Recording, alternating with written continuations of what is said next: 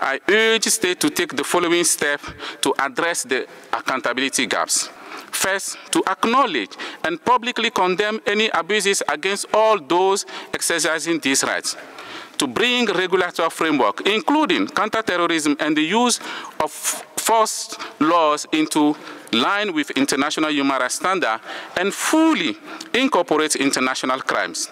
Third, to ensure effective investigation and prosecute, prosecute those with commander responsibility for their acts or omission contributing to the commission of this serious violation.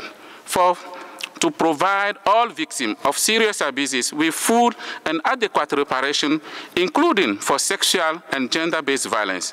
Fifth, to restore the rights and dignity of victims through asserting the truth, offering public apology and memorial, among others. Six, to ensure non-repetition, develop and implement adequate reform aiming at enabling and facilitating this freedom.